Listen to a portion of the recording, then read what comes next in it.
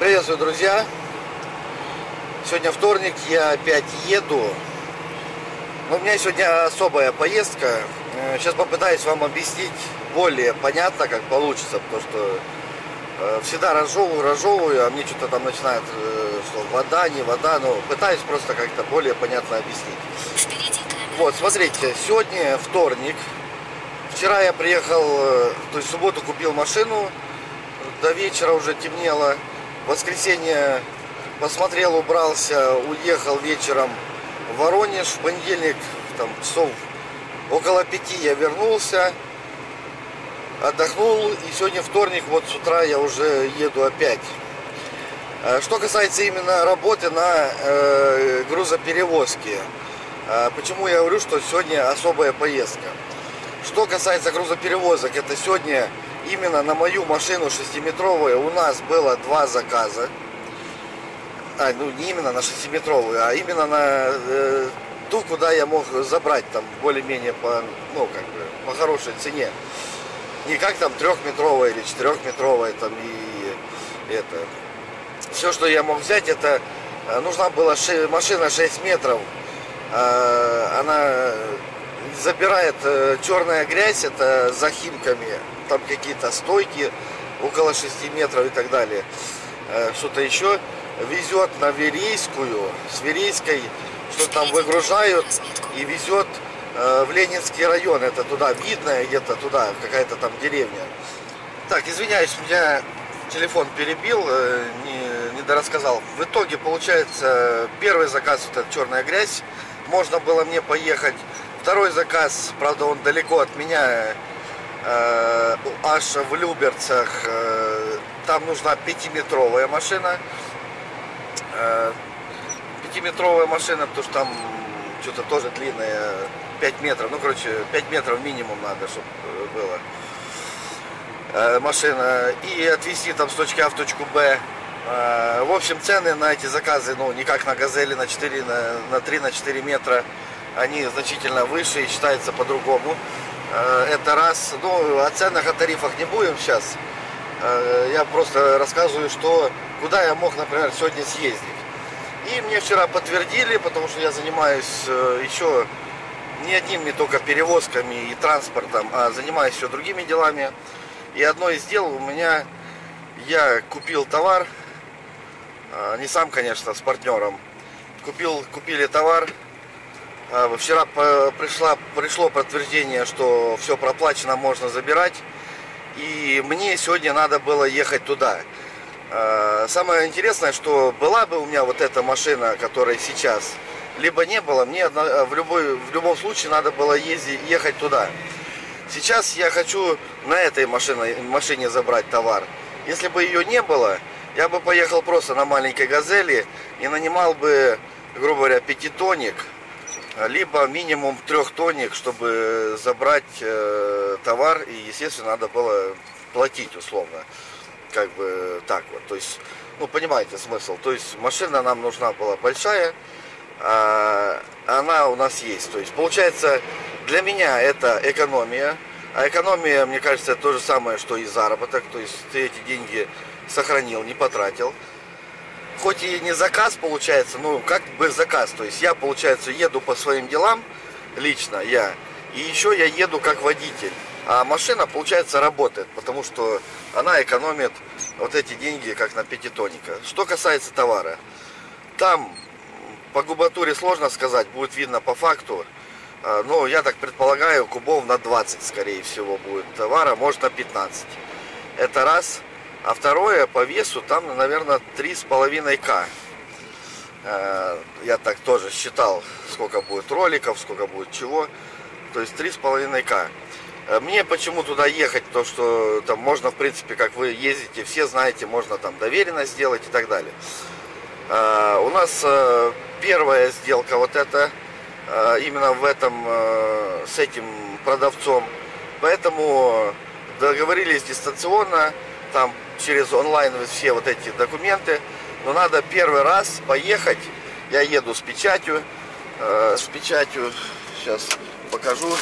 Вот печать, печать. Вот, о, МСК. Я еду как руководитель фирмы, э, либо, ну, как бы, можно ехать как руководитель фирмы, либо как э, доверенное лицо, но я еду как руководитель фирмы. Э, во-первых, получить уже не, не по доверенности, а через печать уже расписаться, печать поставить людям и закрыть вопрос. А во-вторых, я еду еще подписать ну, договор о, о сотрудничестве. То есть в дальнейшем не так часто оно будет, но периодически будет выскакивать тема, что мы будем покупать э, у этих людей, там, у этой компании вот эти рулоны с, с, ну, с этим сейчас посмотрите. Пока что, пока что эти рулоны я купил и уже продал. Найден более быстрый маршрут. Уже продал, продал э, компании, которая находится в Питере. То есть уже сделка прошла. То есть э, с эти, ну, сначала надо с этими сделать, забрать, потом отдать теме. А, чтобы они сами забирали. Ну, как там.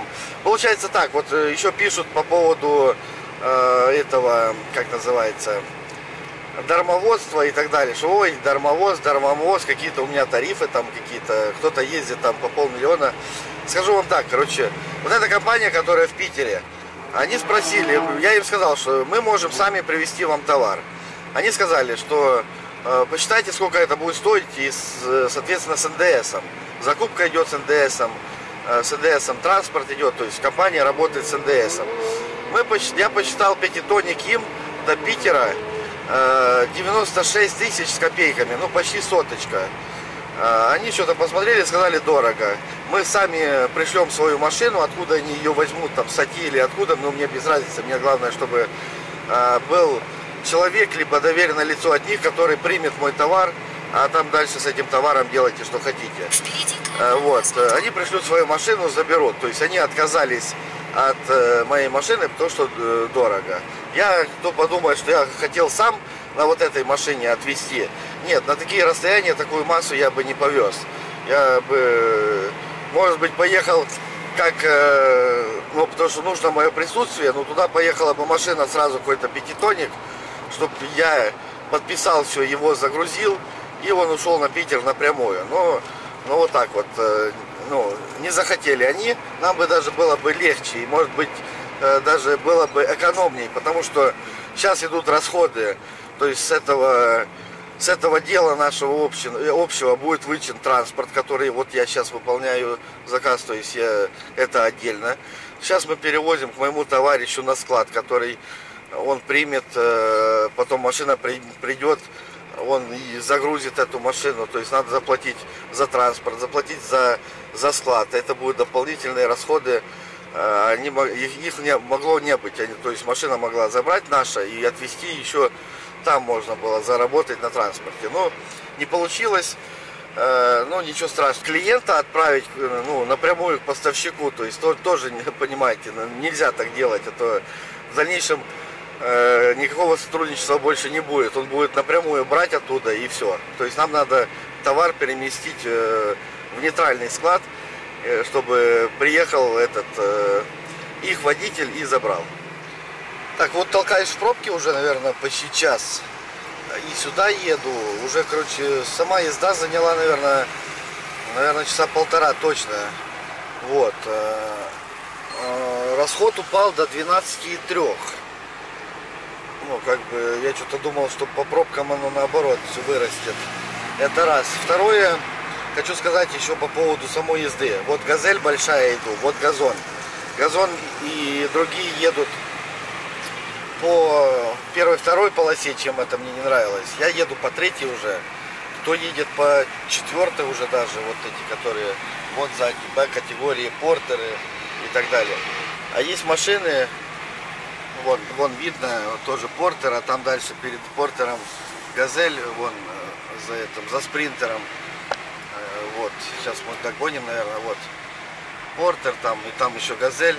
Они вообще едут по пятой. Ну, по пятой э, полосе, ну, по крайней левой, таким машинам ехать, двигаться запрещено. Штраф, я не знаю, сколько сейчас, раньше был 150 рублей. Вот, но они, как бы, камеры на вот эту езду не ловят. Наверное, потому что я что-то, если бы ловили, то было, все ехали бы так, как вот эти едут, потому что вот тут а, вот эти, вот эти камеры ловят, как бы, они и под камеры э, нет, не, не лезут, потому что получат штраф, а, а те, я думаю, не первый раз так едут в жизни, наверное, ездили и тишина пока. Ну, короче, в общем, на вот таких машинах, как э, Газель там и так далее, хоть, хотя она и большая, там 30, получается у меня 31 э, куб ровно и даже с хвостиком там 31-39. То есть вот так вот. Э, ну, можно ехать практически везде, кроме крайней левой полосы. И то крайняя левая, она не только для меня, для газелей, но и для вот таких же больших машин разрешено пере, перестраиваться в случае поворота налево, либо разворота. Ну, все это знают. В общем, так, короче, э, вот эта езда, конечно, сама манера езды мне э, нравится, это во-первых. А во-вторых, еще то, что нету вот этих карт, карты водителя, тахографа э, и так далее и тому подобное. То есть э, в этом преимущество э, вот этих машин. Но те, конечно, берут побольше по грузу, чем газель, хотя она и кубатурная, но все равно не сравнить с газоном по грузоподъемности. Так что, ну, каждому свое. Я, я понял, что я все-таки э, газелист. Можно было и там и 5 тоники, и 10 тоники и так далее, но ну, не мое это, просто не мое и не хочу с этим связываться. Так, ребята, отъехали от Амкада. Вот слева была э, птицефабрика бывшая. Сейчас это склады Томилина. Вот. Тут дорогу построили новую. Уже по-другому. Уже и закончили строительство. Вот. Сейчас э, уходим на Лыткарина. Это уже какой-то новый заезд. Раньше тут пробка стояла. Сейчас она вообще, эта дорога летит. Меня даже обрадовала. Обрадовала почему? Потому что э, у меня тут есть квартира. Она однушка маленькая она стоит пустая. Как бы что-то руки к ней не доходят. А так-то она э, под аренду. Кому может быть интересно, как бы до МКАДа близко, сейчас без пробок, потому что вы вот этот райончик и вот этот, который первый вот этот дом, вот он, коричневый. Там э, однушка, как бы под аренду, но без мебели. Пока просто ключи получил и все. Вот. Э, э, с района должен выезд быть на вот эту дорогу, которая пустая, потому что туда, в сторону Октябрьского, там уже светофоры, пробки начинаются. Сюда, до Москвы, вроде долететь там 10 минут, и ты в Москве. Не знаю, сделали дорогу, выезд, э, чтобы не туда, не через Октябрьский раньше был, а сюда вот напрямую, еще не знаю, но выезд будет точно. Вот тут э, это бывшая птицефабрика тоже, потому что там была Томилинская птицефабрика. А тут был раньше поселок Мирный, и в нем была птицефабрика. Вторая или это одно и то же было. Ну, короче, там переделали в склады, а тут переделали в э, ЖК. То есть тут ЖК построил свой, свои новые дома. Тут, э, правда, вот сосновый лес, природка, чистый воздух, все нормально. Вот, а мы напрямую вышли на Лыткарина. И вот сейчас я задумался еще по такому вопросу, что касается машин, машины. А тут у меня внутри, я еще не перемерял, но как было написано в объявлении, 2,28 по высоте. То есть сама будка, наверное, ну 2,30, 2,35 точно есть. А, вот, 2,30, 2,35. А, плюс еще какое-то расстояние от пола. Это надо замерить, чтобы знать, э, сколько проходишь. Кто знает, напишите в комментариях. Но я мерил, например, у меня была 4-метровая высота 2,20, тут 22-28. 4-метровая. Но у нее она была усиленная, у нее жопа была как-то чуть-чуть задрана. А, и поэтому э, она, короче, самая верхняя точка, потому что она как бы задранная жопой была, самая верхняя точка была 3.30. 3.30, ну когда грузишь, жопа опускается, там ну где-то 3. Ну короче, под мосты, которые, например, трехметровые, ну знак, там, наверное, скорее всего еще есть какой-то допуск, э, чуть побольше. под мост, например, э, условно вот э, где это, а, на Рублевке, кто в Москве знает, на Рублевке, когда едешь с Москвы и проезжаешь под МКАДом, либо едешь оттуда э, с Рублевского, Рублево-Успенского шоссе и э, хочешь напрямую в Москву, там мостик, на нем написано 3 метра высота, и он довольно низкий. Я на той ехал и приостанавливался так, катился и потихоньку, ну, я не видел сильно, сколько там сверху, там 5 сантиметров было, либо 15, либо сколько. Но такое ощущение, что в притирку как бы там, ну там вообще уже особо мало что оставалось. Проходил под этим мостом. Эта машина уже как-никак не 2,20, а 2,28, то есть уже плюс 10 сантиметров. Я думаю, там я уже не пройду. Еще в Москве есть там, в Царицыно есть мостик, там вообще пройдет только в лучшем случае машина, которая 1,8 и так далее. То есть уже на это надо смотреть. Э, потому что есть места, где э, довольно сильные мосты. Они, конечно, их, конечно, немного, этих мест, но все равно. А так, 2.28, э, там у меня стояли рессоры, усиленная жопа была задрана. Это, ну, она более-менее ровно. Тут тоже те же рессоры, те же впереди амортизаторы. Она как бы не то что подушки, как на фуре, что можно ее опустить на на, на пузо, можно сказать так, на подкрылке, чтобы оно, и э, уменьшить высоту. Тут высоту уже не уменьшишь э, ниже рессор. Можно чуть-чуть добавить, как бы поднять, но, но все равно ниже не, не уменьшишь. То есть, если под мостом, то чтобы она села на пузо и как-то прошла, даже там же на Рублевке, уже все равно не получится. А так вот э, на 10 сантиметров уже довольно страшновато. Наверное, там точно уже не пройдешь. Ну, короче, высота уже играет роль. Надо померить. Кто знает примерную высоту пока до измерения моего, тоже укажите в комментариях.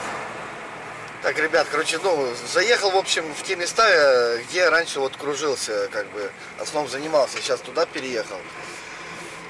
И это, вот еду, вспоминаю, потому что э, там, ну, по поводу квартиры сказал, потому что, говорю, все было как-то тут, на востоке Москвы а сейчас я на юго-запад переехал. У меня вот тут в Латкарина был автосервис. Мы с партнерами его открыли, потому что у меня был свой парк машин. У него и, сейчас скажу, и как бы плюс еще собирались там зарабатывать дополнительно, делать большие машины, там сняли здание, у него там э, высота ворот была 2, ой, 2, 4 метра, то есть для грузовых. Вот, вот заезд, заезд. Тут две базы, вот. Две базы. И вот туда вот спускаешься и, и налево. Ну там внизу он стоит, отсюда не видно это здание. И как бы мы открыли его, собирались, как бы тоже с партнером. Блин, этот трактор. Сейчас посмотрю, может его и снесли там. Короче, тут не видно ничего. Вот, открыли его, собирались, и как бы у меня был свой транспорт, но у меня там было три машины, а у него что-то было там машин 7 или 6. И, короче, мои машины как-то бегали нормально, там, редко когда что-то. А у него машины там были все ушатанные. И, короче, в основное время в сервисе стояли его машины. Ну, как бы, блин, ну, это не делать, ну, короче, там э, вот этот спуск, я не знаю, как сейчас, там зимой был заезд проблемный, там не заедешь. Засыпало снегом, не, не чистили, потом мы это не знали, потому что мы начали летом.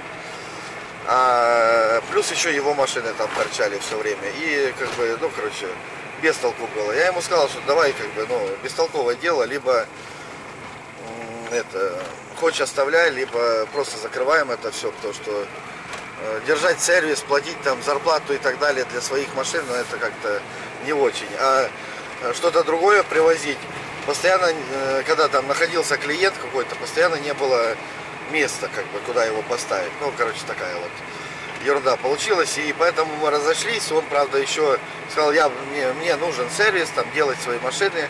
Он остался там, еще какое-то время посуществовал и тоже ушел оттуда. Я уже повернул, приехал. Сейчас меня встречает мой партнер, потому что первый раз мы э, вот это дело делаем. Так я с ним работаю давно, там и перевозки он начинал он с моего клиента по перевозкам. А, и там мужик в возрасте, он мне в отцы годится, даже старше. Ну, что-то я ему понравился. Но я так вообще общаюсь всегда со, со старшими, мне более интересно. И когда мне было фуры, там мне было 26-28 лет, я тоже общался с мужиками, которым по 40, по 50 лет. Как-то одногодки мне как-то, ну, ну, сейчас уже нет такого, а в то время, там, которым было 25, там, 30 лет, они как будто дети были, какие-то детские замашки у них там, ну, детские мысли и так далее. То есть, а сейчас, сейчас где-то вот тут, правда, дорожка, ну. До конца маршрута Ну, ладно. осталось 100 метров.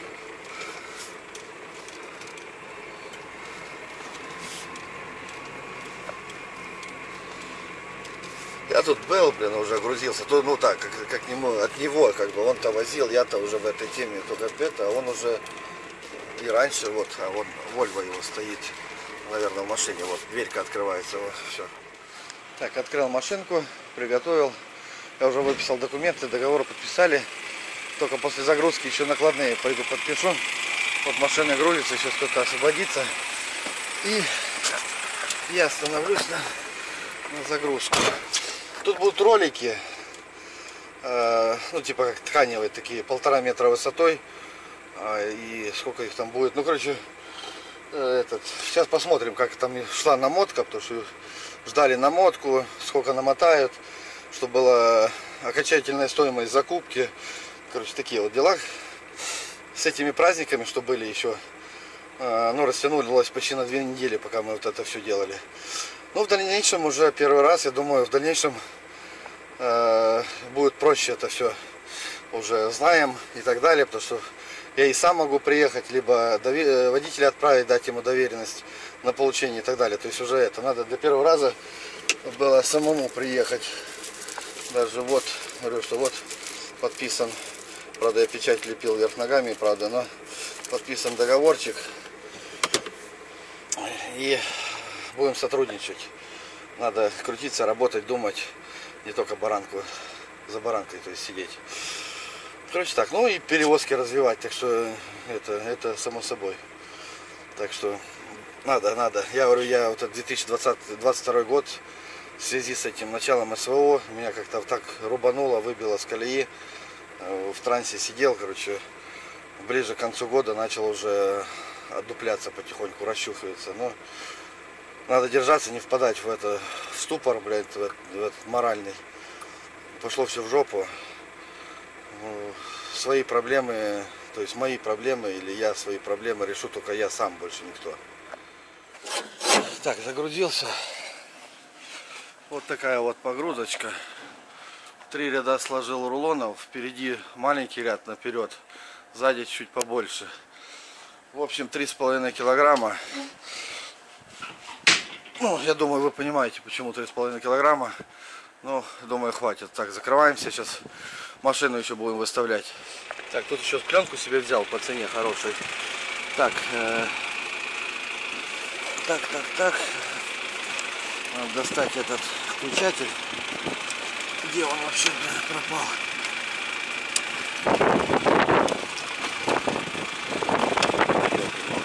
Не могу нащупать. Достану сейчас вот это. Вот. Включатель.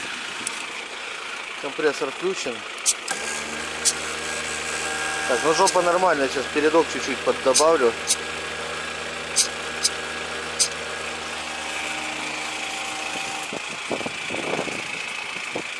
Так, я забыл закрыть. Замочки закрыл, я забыл. Ну, короче, так, чтобы сказать, что она сидит, конечно, но чтобы сильно сидит. И не знаю, задние колеса не просевшие, а передок я даже не подкачивал, может уже надо подкачать. Либо то, что там одно... Но я что-то не хочу больше четырех качать. 4,4. Ну, э, хватит, я думаю. Ладно, потихоньку поехали, там посмотрим. Так, ну что, ребят, сказать э, вам по поводу езды. Выехал я с Лыткарина потихоньку, там куча лежачих полицейских, так, прополз потихоньку.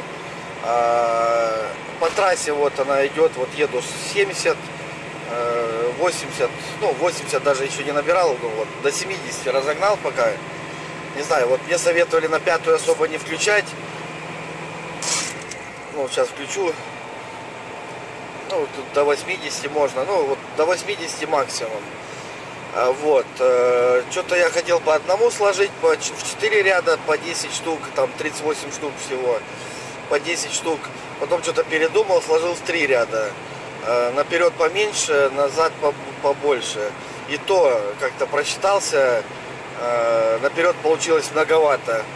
Ну, как бы время ну, учит, работаешь, показывает и понимаешь.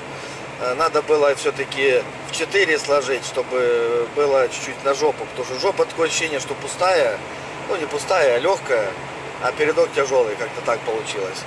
Но уже доедем, говорю, тут 35 километров ехать, я уже 10 проехал, еще 25 осталось. Думаю, доедем. Машинка пока двигатель тянет. Ну, работает как работала, в принципе. Конечно, при разгоне и так далее, но не в том, что она не может так разогнаться, как пустая. Я сам не разгоняюсь. Плавненько, потихоньку набрали скорость, потихоньку приостановились. И вот так вот, в принципе, на короткие дистанции еще можно как-то. Ну, правда, 3,5 килограмма многовато. Может быть, ну, как тестовый тоже пробую, потому что я же не знаю, э, как что. Там од- одни разговоры, а так уже по, по факту наяву, как оно получается. Э, Вот и так и экспериментирую. Э, Это раз. Так что 3,5 кило- килограмма, наверное, многовато.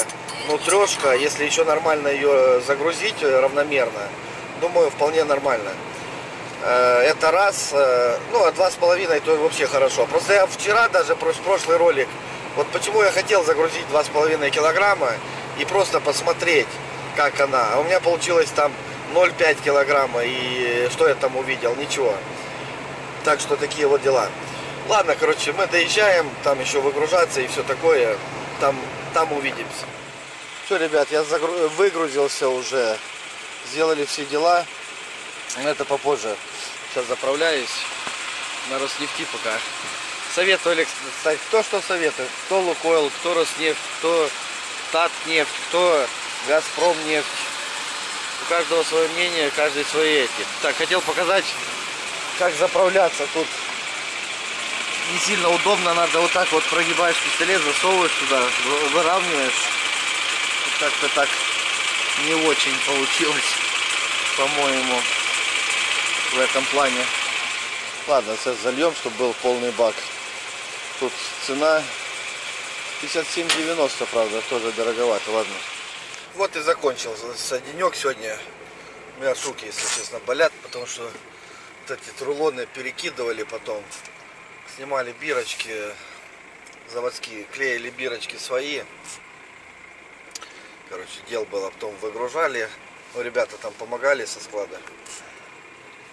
Короче, выгрузили, закончили. Короче, ну, я уже закончил, правда, часов в 6 э, вечера. Сейчас 6.30 я пока выбрался оттуда, там что-то все стоит. А тут, в принципе, тоже. Ну, короче, сделали мы с ней дело. Короче, взвесили все. То, что там приемка, вес, как положено, ну, сколько чего.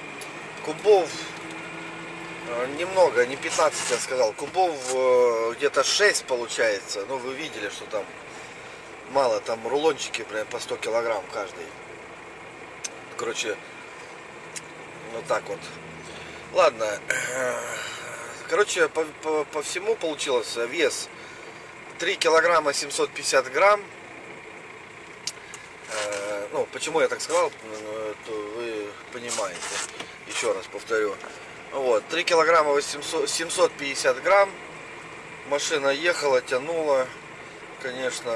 Чуть-чуть б- было, ну, вот так вот, пониже стало. Но все равно, как бы 3 750 довольно многовато. Это, во-первых, мне- лично надо было. И, во-вторых, э, хотел просто посмотреть. Почему я говорю, что хотел посмотреть 2500, как э, 2 килограмма 500 возьмет. Но не получилось вчера. Э, И уже просто если бы я взял 2 500, э, 2 500 и сейчас 3 750, то как бы там на... И то я думал, что 3, 3 500, ну, 3 500 получится. И как бы, ну, плюс один, как бы уже А вчера вот так вот 0,5 и сегодня сразу э, 3,75. Ну, так вот. Ну ладно. Если сказать в общем, то как-то не. Для работы, чтобы вот так постоянно, регулярно, нет. Такие веса не, на, не, не надо. Это точно.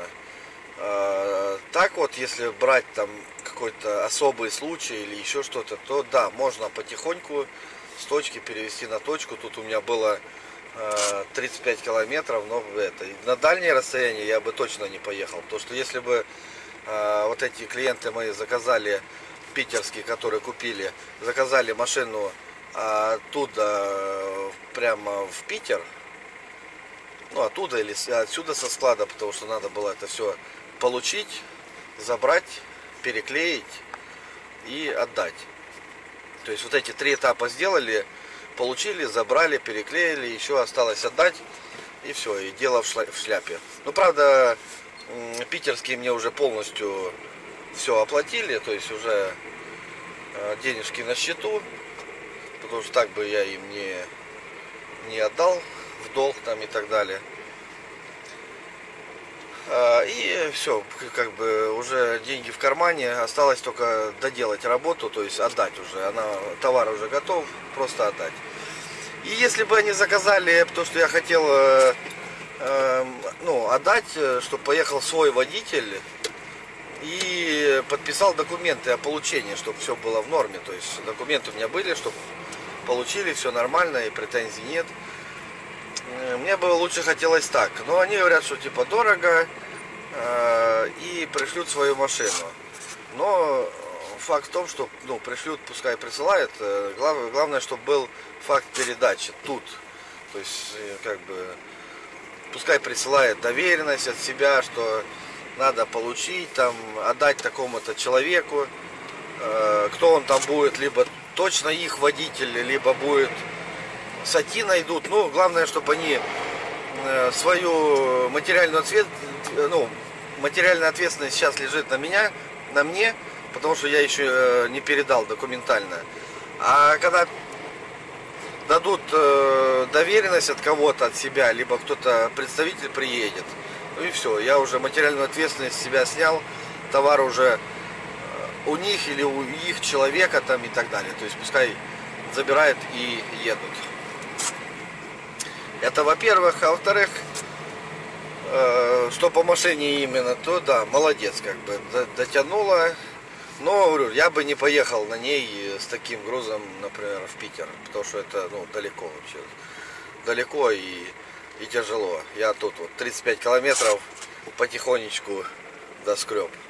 Ладно, короче, мы сегодня хорошо, в принципе, заработали с ней вдвоем. Даже очень хорошо. Э, С перевозками не сравнить. И едем сейчас домой. На завтра что-то опять что-то наклевывается. Я говорю, как, как то тишина, то что-то наклевывается. А мне хотя бы надо на это, на учет ее поставить. Ой. На учет ее хотя бы поставить, потому что э,